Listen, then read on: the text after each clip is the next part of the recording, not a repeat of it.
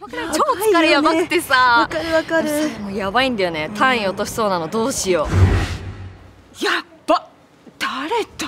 それがね家庭教師の先生です。えー、マジで？やばいやばいやばい。ややばいっすわ。ありえないっすよ。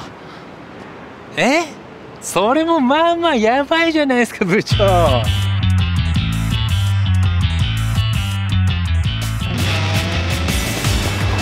戻る。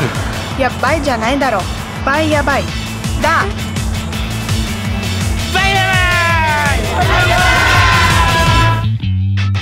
ビリビリとしびれるほど見つめちゃうあなた。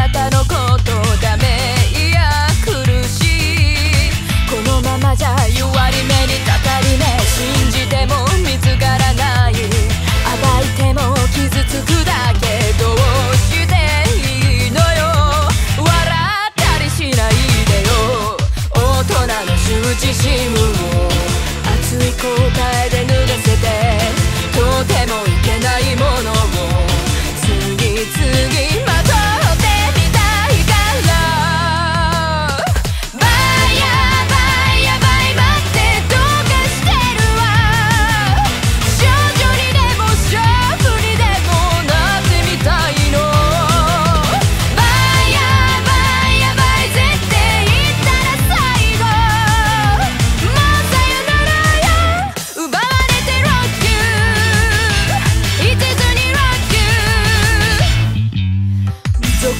と震え